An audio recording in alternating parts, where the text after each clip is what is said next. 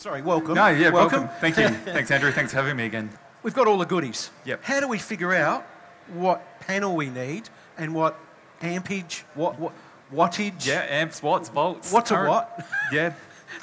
No, excellent. So It's a really good question, and, and we get asked that you know quite a few times every day on the tech line. Um, look, it's a bit of a, a combination of, a, of your battery, your solar panel, and of course um, in-vehicle battery chargers now, which have solar regulators in them. So, to um, what we do have at REDARC, we've made it really simple. We've added a website and a calculator on our website. Oh, okay. So, so how does that work? Yeah, so you can actually go on our calculator and just click on the fridge or click on your sleep apnea machine or your light and then actually tell us how many um, batteries you're looking at having or if Yeah. you're not sure, you can just hit on, you know, I'm not sure and then we'll actually calculate that and give you a result showing the panels that are best suited for a caravan or camper trailer or even just your full drive or, or normal car. Wow. Right. Yeah, it's that easy. Okay. So, all right. Well, is there a, a sort of a guide you can give us now? A bit of an Yeah. inside info on. Um, okay, I've got a compressor fridge.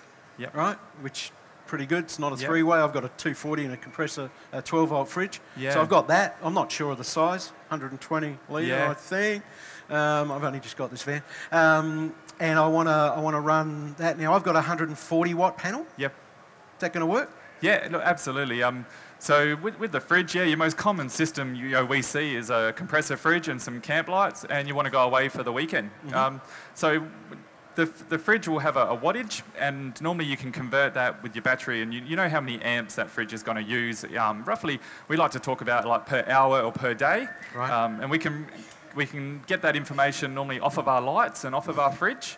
And then we have to look at what battery size we have. And you, it's a pretty simple calculation. You can look at how many hours a day you're going to run that product, and then um, our battery will come in an amp hour figure. So a, a normal battery we, we see out there is 80 amp hour, 100 amp hour. Um, some caravans you might have two batteries. Yeah, I've got two 120s. Yeah, and, and look, it's a good rule of thumb when you know your battery capacity. Um, that's your battery's total usage, almost like a, having an esky full of water. Right. And um, you don't want to use all of that. You want to make sure that you use half of that battery capacity, and that means your battery will last a, a, a longer time frame. So, so if a battery gets below a certain level, is it um, ruined? I was going to use another No. word then. Is it ruined? No, definitely not. definitely not ruined. But you want to keep the battery ch- recharged and Right. keep it full to make it last its maximum lifespan. Which you know, or, or a battery should give us a minimum of three years. You know, and, and if looked after, charged right, the right temperature, you can sometimes push that to you know five to ten years. Okay. So I've got the 220 amp hour batteries. That's Yeah. fine. And I've got the one 140 uh, watt system up the top. Yep. Um, sun's not going to be there, and that's permanently mounted on my van. Yeah. No. Look. Is it's a- that is that going to work, or do I have to do I have to jack it up, or get a portable one? Do I have to get Absolutely, yeah. Look, extra? um, it's, it's very important the angle of the sun for the panel. So yeah, the most common caravan setup is to put the panel flat on the roof. Now, um, flat on the roof, the actual sun in Adelaide here rises to about 35 degrees. So we're hitting that panel at, at 35 degrees, and a lot of the sun is reflected off that glass. So um, you know, in percentage, actually, can be sometimes 50% to 20% lost of power. So your 140 watt panel, Mm. uh, you know, could be operating at about 100 watts. Okay. So it's a little bit of a loss to, to do that. Um, the portable panels, where you put them up on an angle, Yeah. is, a, is a great idea. Um, you know, I've got my two little kids, and if we go camping, you can train them to every Mate, hour your maneuver kids the panel. aren't little; they're sitting here. They're huge. They're little. They, were, they used to be little. Yeah, and, and that's a good idea, guys, to keep moving those panels every hour to track that sun and Yeah. keep it at the right angle. And um, at REDARC, we've got products that can actually tell you how your solar panels are performing, and then you can actually keep an eye on that and then make sure you've got the best performance. So is there a, yeah, d- a device that, I was, Yeah. that was sort of my next question? A device to say, right, oh, this is what it's charging at. Ab- Absolutely, yeah. So a solar panel is a, um, almost like a battery that's powered by the sun. And that solar panel can put out about anywhere from 18 to say 25 volts.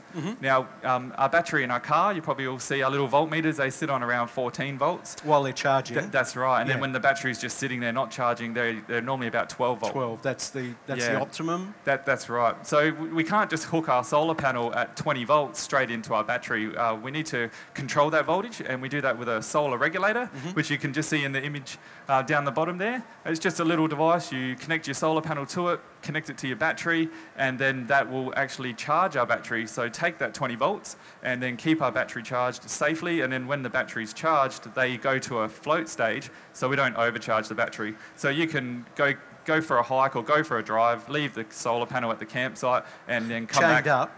Charging. up, by the way. Yeah, and then come back and its um, battery could be full and it's just trickle charging. Okay. Yep.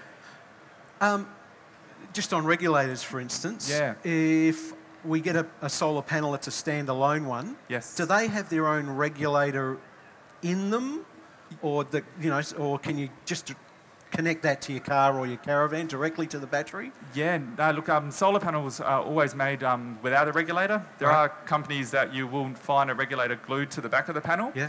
Um, at REDARC, we keep that regulator separate. The reason why you don't want to put your regulator on the back of the panel is we've got all this beautiful sun in our country and it does heat up, and uh, electronics do actually have temperature limits.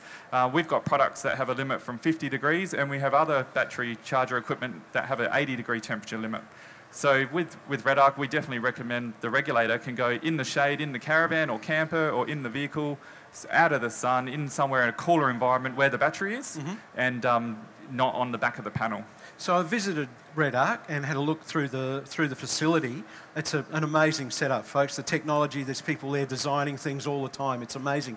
Now, the, the sort of um, is it crystals or the what's Yeah. the what's the term here, Matt? Yeah, For we the have- things that are actually making the panels. That's right. We have um, monocrystalline Yeah. and polycrystalline, and the new amorphous uh, silicon here. righto. So um, it's exactly what it sounds. It is a it is a crystal, and Mm-hmm. um, poly just means multi-crystal, and mono means single crystal. And the, the, you can actually see the difference of the panels. Right. But because they're a crystal, they're very fragile. So you will find crystalline panels are normally covered by glass or a, or a plastic, and, and that's purely for its protection from getting cracked.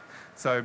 Um, the, amor- the amorphous you can see here, it's almost like a spray painted solar material. Yeah, that- and this is so thin. yeah, they can they can paint that onto plastic or aluminium, and it's um, a very thin layer, so it can be very flexible. Great So- for yeah, great for camping and Great for driving. camping. I was just going to say, where, where is this best used? Oh, absolutely, yeah. At the campsite, just out, out on the ground in the sun. Keep Yep. the keep the vehicle, caravan, camper in the shade, and um, it doesn't matter if the surface is a, a bit un, unlevel or flat. Yeah, yeah. it doesn't have to be completely flat. They, that'll sit and layer itself, you know, nicely onto the ground. I've seen them uh, pictures of them on the front of bonnets of cars. Yeah. Is that okay? Absolutely, yeah. So they, you were talking about them getting hot. Yeah, that's right. This product here is very, um, very unique for us. So during the development of it, one of the conditions was that it operates at a high temperature. So that, that has a 85 degree operating temperature limit. So So what's the wattage? That one there's Oh, 108. Right. Yeah, and 108 is roughly twice our fridge wattage. So while the sun's out and the fridge is running, this can be powering the battery, charging the battery, which is running the fridge, but putting almost exactly what the fridge is using back into the battery. So we're, we're positive charging. How do I care for these? Do I wash them? Do I? Sorry, me. I'll- Yeah, no, I, no. I do that. I clean. But you know, I'd, I'd go. Oh, looking a bit dirty. I'll get a bit of a spray thing and go Yeah. spray, spray, spray. No, look, No? it's um, no, definitely, definitely not. So with all, all solar panels, glass or flexible um, fabric panels, uh, what we would really recommend is uh, wait till they cool down. And you just need something as basic as water. Uh, with the glass panels, with the amorphous panel there, when they're cool, you can actually just hose off any excess dust or mud. And then we can actually just um, chamois them dry and then give them a clean with a soft microfiber cloth. Uh, the Yep. same would apply, obviously, for the ones on your on Caravan, your van. absolutely. Um, so you know, you get up, get up, get a ladder, whatever. You, you have to clean those off every now and then. Yeah, look, it's really important to keep them as clean as possible because any um, any dust or any dirt is actually just interfering with the sun penetrating the cell, and th- that means wasted power. Um, we already know that we've got a little bit of wasted power because we might have the panel flat, so you want to make sure that it's nice and clean, and you know, getting maximum absorption as much as you can. Yeah. What about the length of wire and the, the size of the wire from Yeah. a portable unit to to the battery area? Uh, Is really that affect, important. Does that affect the charge? A- absolutely, yeah. Because the, the solar panel, back, back to volts, we talked about uh, 20 volts at the solar panel, and um, then we have to make that power travel through the wire. It could be 5 metres, 7.5, 10 metres of cable. And uh, just unfortunately, the rule of electronics and electricity is uh, even with very thick cable, we're going to lose power every metre of cable. So that's called voltage drop. And it's one of the benefits solar panels, you know, they have a 20 volt output and we're charging our battery at 14 volt. So we mm-hmm. do have the ability to lose a little bit, but you want to minimize that. And to do that, it's thicker cable or shorter cable.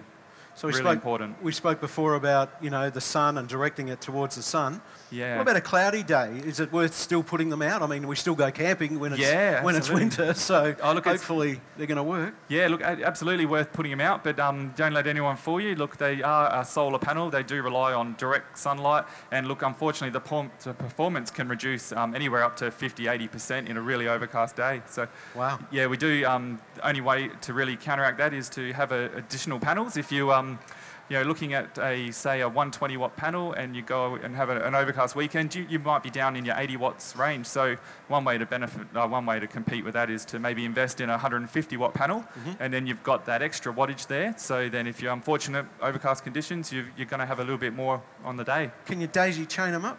Absolutely right. Yeah. So um, it's called connecting them in parallel, and you can connect um, as many panels as you like. Uh, one thing to consider is every time you hook up a panel in parallel, it's like hooking up batteries together. Uh, your power increases, and of course your solar regulator they they have a power limit. So we do need to check what limit our regulator is. So check before Yeah. you connect. Absolutely. Yeah. Check before you connect. That's it. And you know, we do a, a 10 amp regulator and a 20 amp regulator. Yeah. And th- that roughly relates to 120 watt or 240 watts of solar. And then we have larger models up to 40 amp of regulators, which, which could be um, six, 700 watts of panel on your caravan. Sorry, what about the areas of Australia?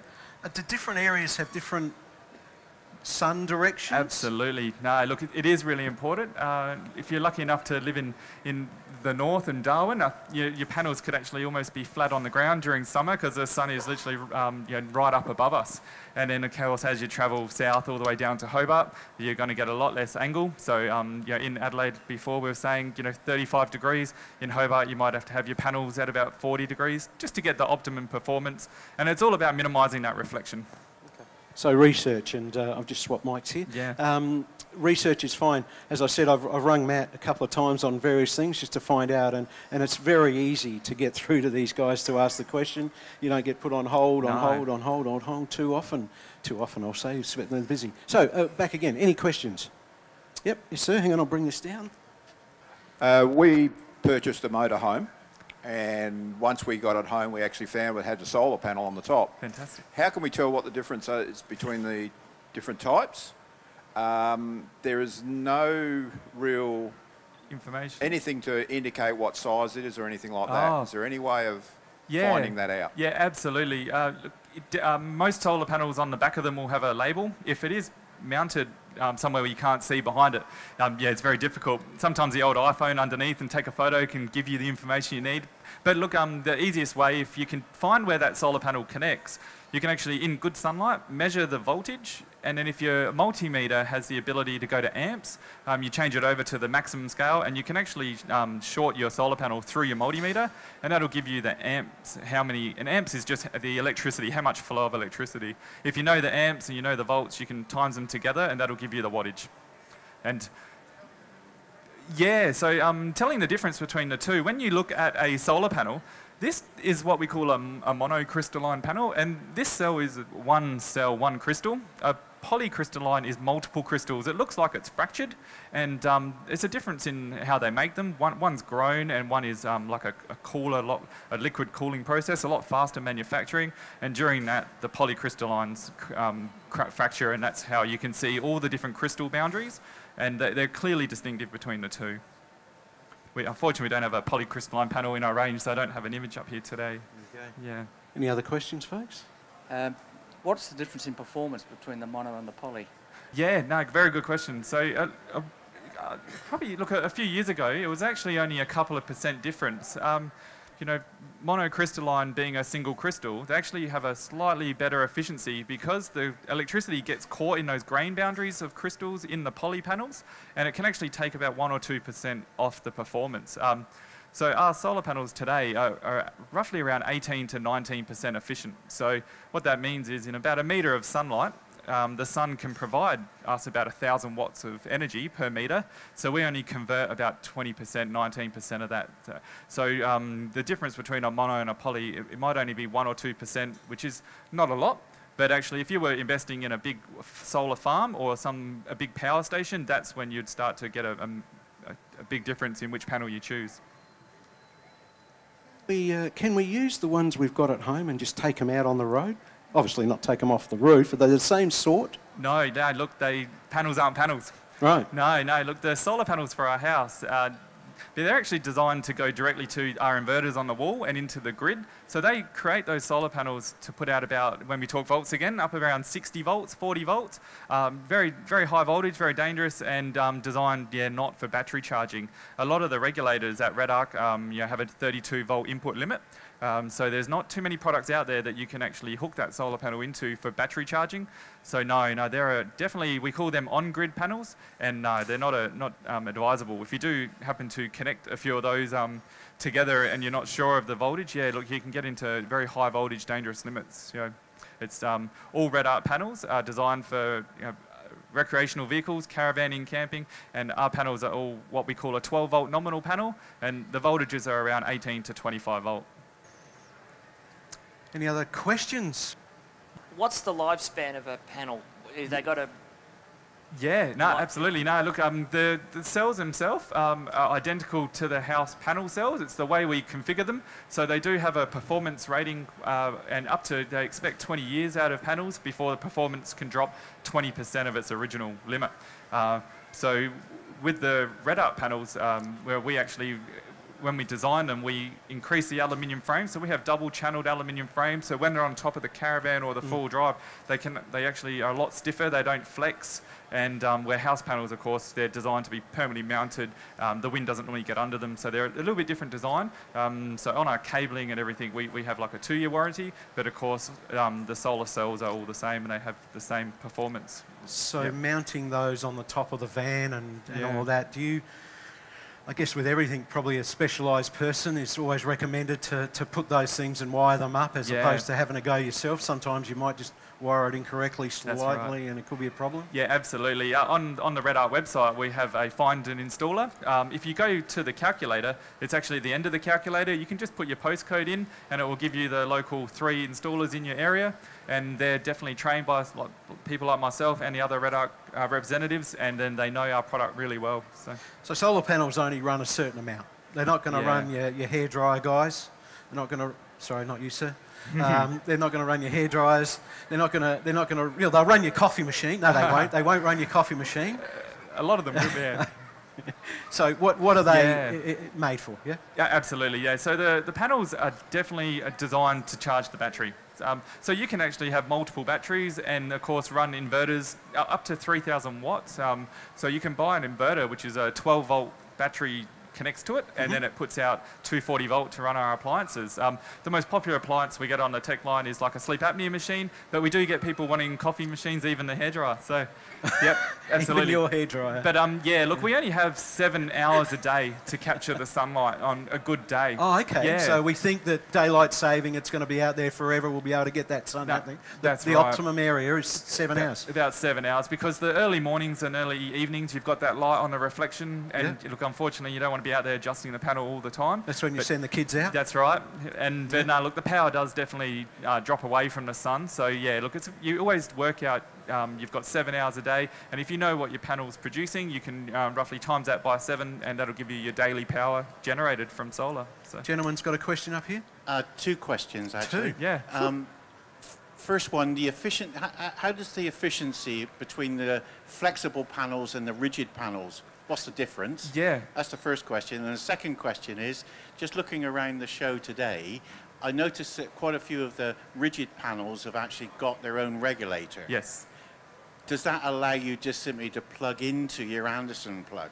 Yep. Uh, yeah. No. That's the two questions. Good questions. Num- number one, so we, um, efficiency is, is um, of the amorphous. This is a very thin layer of silicon, so it actually it's almost like spray painting this onto a, a surface. Um, the crystal in a crystalline panel is maybe 50 times thicker, so the efficiency is a lot better on a crystal panel. Uh, but efficiency is counteracted by size. So this um, 108 watt panel is a is a lot larger than a 100 watt solar panel. And, and that's because the efficiency is about half. It's about um, 9%. And um, that just means we need more solar panel to capture the equivalent amount of light. But also, it's so much lighter to carry if you're travelling around, you know, in the four-wheel right. drive. Yeah. And so with um with regulators, yeah, the the solar regulator is there definitely to charge the battery at the right voltage and then of course be able to go to the float mode and not overcharge it. If you have the regulator on your panel, um, you've got the length of cable that you have to transfer the electricity through. So if you do have a regulator, it's um, great. You can go straight to your Anderson plug if the Anderson plug is connected to a battery. If your Anderson plug is wired into, say, a REDARC battery management system or a REDARC in-vehicle battery charger that already has a regulator, you do need to remove the regulator from your panel and bypass that. Otherwise, you're regulating a regulator, and um, yeah, they it's just um, either will not work or it just minimal power will get through. Matt was here, I'm not sure whether you're here, sir, but he also mentioned the fact that the panels get hot.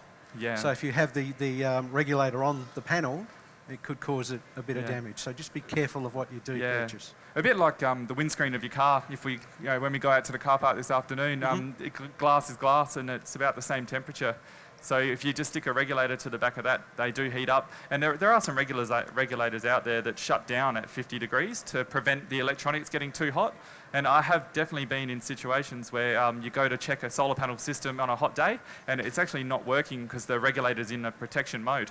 So you just um, get the old hairdryer out, give it a blow, uh, cool it down, or you know, I've even been there and put it in the old fridge, cool it down, and yep, she's Yeah. working again. So Okay. yeah, got to keep an eye out for that one. Any other questions, folks? Lady down here? I just wanted to know how you got the uh, the larger soft panels at your 30 degree angle. Yeah, no, good, very good question. So we've got some uh, reinforced eyelets there, and just like your tent, you can actually strap that up, put a bit of tension on it, and hang it off an awning, uh, hang it off something, you know, just like the ARB stand over here with the ARB awnings. You could put a little clip on there and just pull that out on an angle, and then peg that into the ground. Two kids on either side all Uh, That's day? it. Yeah, At least otherwise you know where they are. One, one thing you might notice here is this panel is uh, very unique. It has an anti-reflective coating on it, and on any angle you can't see any reflection. So the amorphous panel can actually just go flat on the ground or hang vertical, and because you're not losing the reflection like the glass panel, uh, they are very efficient. So they will work extremely well just flat on the ground. Yep. Um, my brother gave me a panel, which is like your um, solid one up there. Yeah. But his fell over and landed on bitumen, and it's. Oh. And he wants it the other one back? What a mongrel. No, he, he's actually given it to me, the generous soul. Um, was that still going to function, or is that going to? Uh, uh, it's, it's shattered. Yeah. it? Yeah. Look, it, it is a it is a safety glass. Um, it does shatter, um, but behind that is um, a glue, and the glue holds the glass there. Look, definitely, if the cell hasn't broken, um, it it could still be working, but unfortunately, you're going to get a lot of um, reflection through those breakage, so the performance could be yeah down to 20% or 50% of its original value. Yeah. I, I might as well toss it out, I think. Unfortunately, yeah. Or if no, good Towards idea your like brother. Oh, yeah. Now, look, a good idea for that. If it is still working, you can um, buy a regulator, put it on a shed, and keep a little the kids, um, you know, you know, batteries charged, jet ski, boat, bike, if you've got anything like that in the shed. So, Thank you. yep. Matt, do you want to have a quick chat about battery control units? Because these sort of, they go from this to the batteries and all of that. Yeah, absolutely. How do they work? Yeah, no, look, so um, uh, at, at REDARC, uh, we do a, a from battery charging through the solar regulator right up to battery chargers that include the solar regulator. But then because the panel's mounted on your car, you've got your car alternator. So you can actually charge from the alternator between battery and battery. And we call that DC-DC charging. And then uh, when the car turns off, the solar panel can come on and continue charging. And and from that, we've got a next generation system which includes a 240 volt charger, ideal for the caravan or, or Yeah, camper trailer. yeah, yeah, and that's a battery management system. So, so uh, okay, I've had two trains of thought from dif- different people. Somebody has told me, yeah, just keep it plugged in all the time. Yep. Um, uh, because it's a smart charger. Absolutely. And another one said, no, unplug it and every month just go out and turn it on for a day, top it up, and away you go. Yep.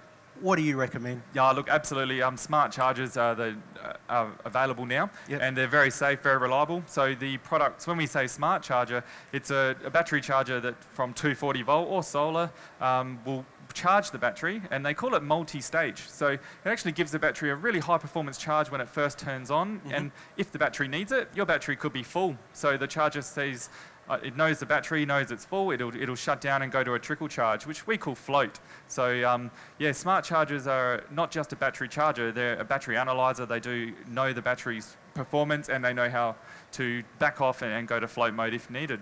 Yeah, where an, a, an ordinary charger, which isn't a smart charger, that could actually just continue to charge the battery. It requires you to have a bit of knowledge about batteries, and of course, when the battery's full, disconnect it. Um, not ideal for our caravans or camper trailers because, yeah, we want to store them and leave them plugged into power or leave a solar panel charging and, and just forget it, come out, you know, a day before we go on our trip, turn everything on, Yeah, yeah. you know, fill the fridge, and away we go. No, Battery free, hassle free. no. Probably a good idea to, to do that the week before you go, Yeah, I yeah. reckon. But there you go. Hey, um, what about, I've got two batteries. Yes. When they're wired, Yeah. is there any chance that they can turn into 24 volt? Abs- yeah, absolutely. Or, or, you know, they have to stay 12 volt for They all my appliances. They do. How, how do you make sure, if you have done it yourself, which I haven't, Yep. how do you make sure that they are wired correctly? Yeah, no, look, um, so when we have our battery, we've got our two terminals, a positive and a negative, actually, and we just want to connect the positives together and the negatives together, and that's called parallel, and Yep. that, that keeps them in 12 volt. And then, of course, if you do connect them in the other configuration, which is positive, negative, positive, negative, um, a bit like when you're putting torches in your uh, batteries in your torch at home, Right. you're putting them in series to get a higher voltage, and yeah, that's not what we want. So and that's that turns it into 24, 24 volt, which Yeah. could uh, potentially cause damage to your 12 volt Absolutely. It's really important to check your regulator, your battery charger, your battery management system, um, Mm-hmm. every everything, uh, even from like your um, lights to your fridge, they all have a working voltage range. Um, they might be minimum as 9 and maximum as 16. So Mm-hmm. you do need to make sure you uh, understand what you're connecting and what voltages are going in and out of your products. Mm-hmm. Yeah. So it always helps, I guess, to learn how a multimeter works. Absolutely. Folks, to find out what, what appliances are char- you know, um, pulling so much. Matthew Wright, thank you very Thank much. you very much, Andrew. Appreciate you coming on board pleasure again. being here. And, uh, and I'd just like to, if everyone can thank him for coming on, that'd be great. Cheers. Thanks, Thank Matt.